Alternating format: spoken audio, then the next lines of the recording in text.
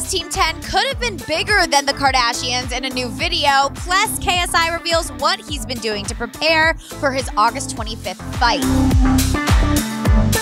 Hey guys, it's Ali for Hollywood Life, and recall Jake Paul slapped Deji across the face. Well, Deji released a video saying since he and KSI were doing public training sessions, he thought it would be funny to stop by Jake's, and he also reveals Greg Paul got hit as well. Well, anyway, to KSI, he was spotted training in Manchester, and just look at the hands on this guy.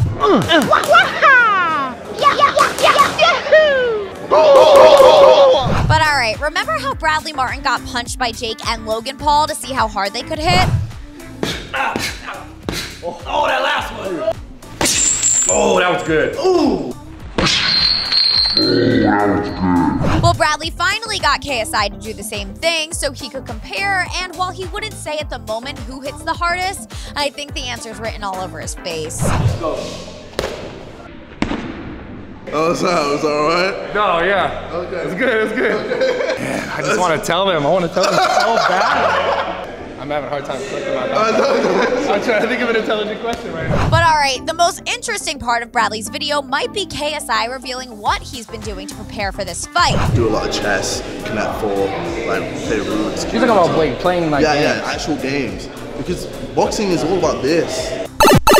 On to Jake Paul, he recently spoke to True. True. And revealed why he thinks Deji needed this fight. He also says like, like a lot. even when he like went back to the UK and like sat down and like made made his video like saying that he would fight me, like I was like surprised. I was like, what? Like, why? Why do this? And I tried to like put all of the clues together, and to me, like the only thing that I can get out of it is like this is just like a chance for him to like revive like his brand and like his career and like his YouTube channel. Jake also opens up about friends he's known forever who just ditched him after all the drama he went through, and it's a bit emotional. literally kids who I've been best friends with since like seventh grade wake up and are like, oh, there's a moving truck here, like, peace out. And they're not even like adult enough to like have a conversation with me about it. It's like, it's such a mind like cluster. I've never been through something like so crazy. I'm not crying. You're crying. Stop.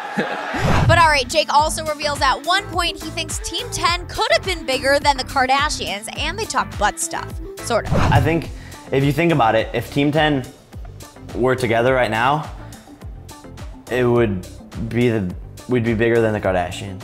I don't know if your ass is as good as Kim's, to be honest with you, but we'll find No, out. No, I know, but it might be. yeah, but But alright, guys, if you think Jake has a bigger butt than a Kardashian, click right up here to subscribe and smash that like button for all the latest. Bye, guys.